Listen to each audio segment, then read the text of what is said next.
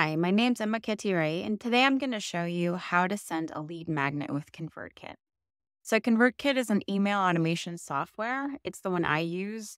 And the reason why I love ConvertKit is that it has a lot of features that help me segment my subscribers so that I can send emails to certain ones. It has automations that allow me to send not only a lead magnet, but nurture sequences to my audience members. Um, so today we're going to focus solely on lead magnets, and I can touch on other topics in separate videos.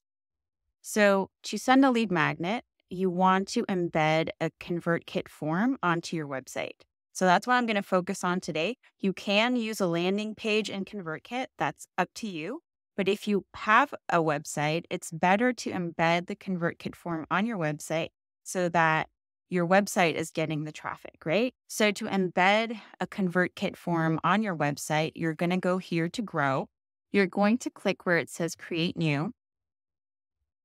And here you can decide between a form and a landing page. Like I said, I prefer sending traffic to my website, so I embed ConvertKit forms on my website.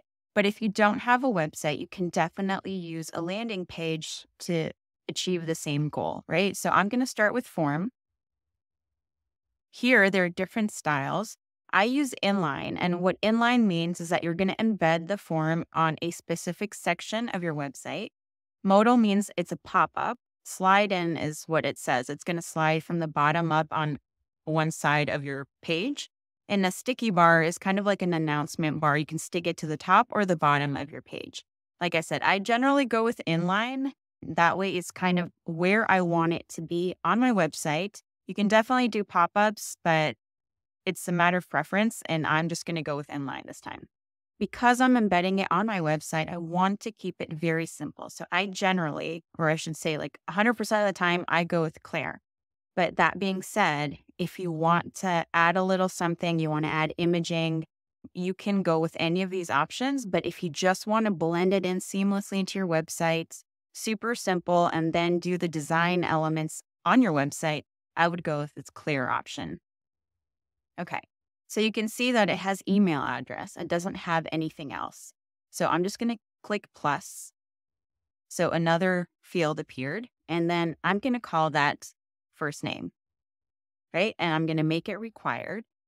And then I'm just going to slide this over here because people are used to this kind of layout, right? First name and then email address. You can call it name, whatever you want, right? Um, so at this point, what you can do is click on first name or click on email address, any of these form fields, and you can change these elements here. You can change the font color, the border color, the border radius, so you can see there's a tiny bit of a curve. If you wanted to remove that, you just go to zero. And now it's just a rectangle. Font weights, you can make it bold, whatever you want. I generally don't really mess with these two. What I do here is change the color of the button to my brand color. And I change this to from subscribe to something else. Subscribe is kind of meh. So, like you can say download now. If the freebie, if the lead magnet that you're offering is something that you're going to download or sign up now, something with a little bit more urgency to it. And again, you can change it to your brand colors. Again, I can change this to be completely rectangular. Next, you're going to click on this built with ConvertKit and uncheck that box so that this does not appear. Okay, so it's not even going to appear muted the way you see it here. It's just not going to appear in your form. So your form is now styled. You can rename it so that when you go to your forms, you know exactly what this is about. So you can say new template download or whatever it is that you're offering as a lead magnet. Now we have to go through the settings. So here under general, you're going to see that the default is that it's going to show them a message. And so that's going to appear instead of the form. The form's going to disappear once they submit it, and this little message is going to appear. If you have a page on your website, like a thank you page, a welcome page, whatever it is that you have, it's usually a hidden page designed on your website. You're going to add that URL over here. Okay. So it can be like a your domain slash thank you, that kind of thing. And on it, you can put all sorts of things. You can put like a video, welcome video. You can put testimonials. You can put a form so people can sign up to work with you, a scheduler so they can book a call with you. Uh, you can talk about like next steps. Um, you can do an intro. You can put links to your socials. There is no end to what you can do. Just keep in mind what your goal is. Like when people sign up for your freebie, what is it that you're inviting them to do next? And you can put that step on mm-hmm. that welcome page or a thank you page.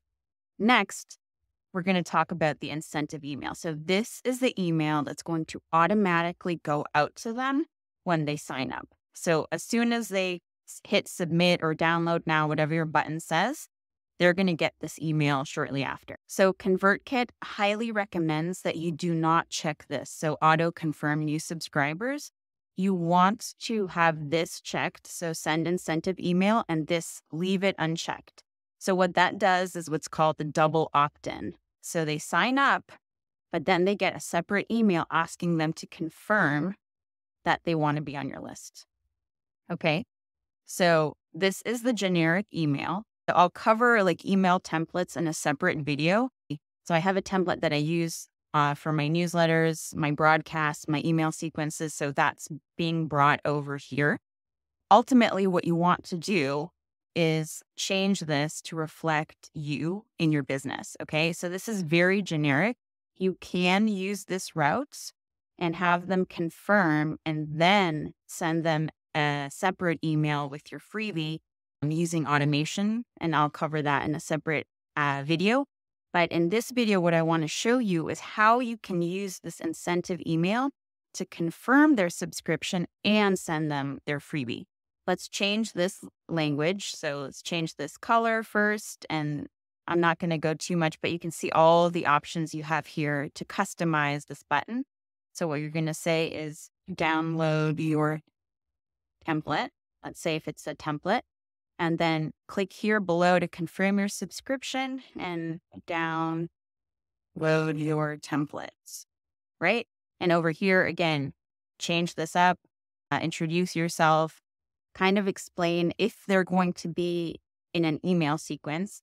If you're going to tie this to an email sequence, like I said, I'll cover that in a separate video. You want to talk to that. You're going to say you're going to by being here, you're going to receive weekly emails where I'm going to share cool blog posts and YouTube videos and so on and so forth. You can share past blog posts that are super popular. You can share like links to your YouTube channel. You can, you know, give them a lot of value, a lot of information in this first email so they have a sense of what they're signing up for.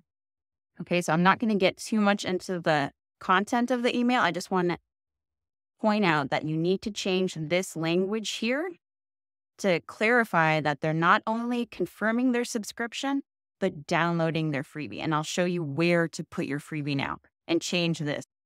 Yeah, you can put something like your template is here. I've learned by sending a lot of emails that emojis help. Uh, so put one of those in your email title and you know you can elaborate here, but you want to point out so they know this is the email that's delivering their template. And over here, this is where you're going to insert your freebie. If your freebie is like a video, a course, something like that, you're going to insert the URL here. Okay. And you could you could even put a link to a PDF that's on a Google Drive or in a Dropbox.